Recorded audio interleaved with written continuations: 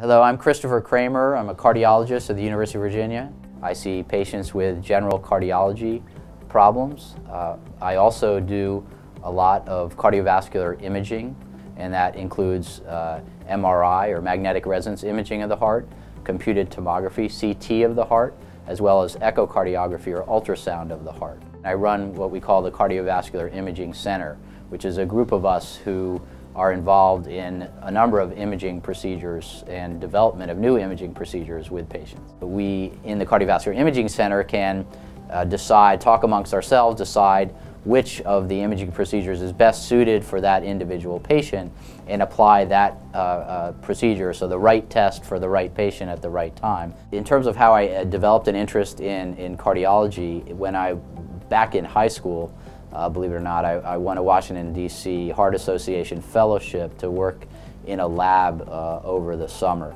During my fellowship, I got interested particularly in cardiovascular imaging and uh, began to specialize in that area. We're able to uh, diagnose problems now that when I finished my training nearly 25 years ago, we weren't able to, to see and diagnose. So that's been an amazing uh, set of advances. I think patients uh, who come to UVA should know that they're getting really top line uh, expertise in terms of their uh, cardiovascular imaging.